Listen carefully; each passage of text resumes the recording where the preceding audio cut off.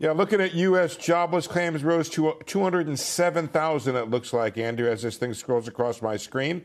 Um, four week average rising to 204.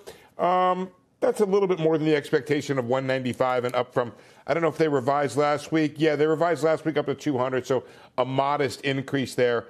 Um, and then I'm looking for the trade deficit. I, I, think it's not a big deal because we get the advance on that. It's supposed to be in around 81.5 billion, a big surge. Um, that uh, came from a, a, a, got tighter in, in October, and then it widened again. We think in in, in November. Uh, the expectation is that as bottlenecks uh, ease off, um, we might get better results on trade next next year. As or th- sorry, that's this year.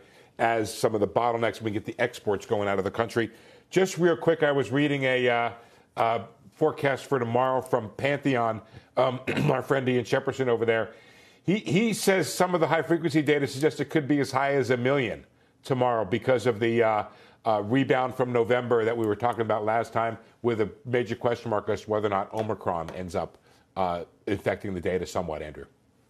Hey, Steve. So that's the that's the Steve Liesman analysis. What is the um, the Jay Powell analysis? If you were to, to try to read read his mind right now. Of which part? The jobs or the um, uh, uh, the jobs or, or, the jobs. or, the jobless claims numbers? Which which part are you interested in? The, I was going to go with the jobless claims I, numbers, I, I but, think but, that, but you intrigued me by, by, by, by what Pantheon's saying. So, you know, you can do both. Yeah. Yeah. I mean, I think that Powell counts among his blessings that he's got these problems with inflation and the need to take away stimulus, but he has a pretty good economy.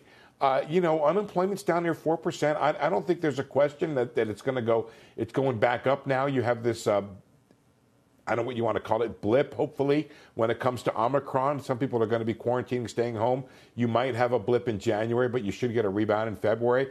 Um, I, I, think, and he's the concern here is that you don't necessarily see it yet, but that this year you start to get wage inflation come into the inflation numbers. You haven't seen it yet necessarily, but if wages keep going up the way they've been going up, you could start to get an issue of wage inflation. So that's got to be a concern, as well as a, uh, a benefit that he has that the, the job market's in pretty good shape for the Fed to uh, remove stimulus. Okay, Steve, stick around. We want to get over to Mike. want to get your take on these numbers and what you think the equity market and uh, the traders are going to think about all of this. Yeah, modest tick up in claims relative to forecasts, and from last week we get it back back above 200,000. I think it it still tells you that the job market is behaving relatively tight. We get a huge payroll number tomorrow that's going to underscore that. The JOLTS data this week, uh, a lot of people leaving their jobs, all feed in that direction. The, the big question is to what degree we do have a little bit of a stutter step in growth because of Omicron this month, next month. I think investors in general expect something like that, but they're really intent on looking right through it. If you look at the way the markets are repricing here, it's mostly about, wow, this thing's spring loaded to take off once we get through uh, perhaps a brief uh, wave. So that's that's where also the surprise could be if we do see a more pronounced uh, slowdown. So so far, not a big change to uh, to me the, the basic premise of where investors are coming from right here. My, this morning, I was just going to quickly say it's mostly about positioning. It's mostly about did I own too much Microsoft and Salesforce coming into this year, and I'm already underwater four days in.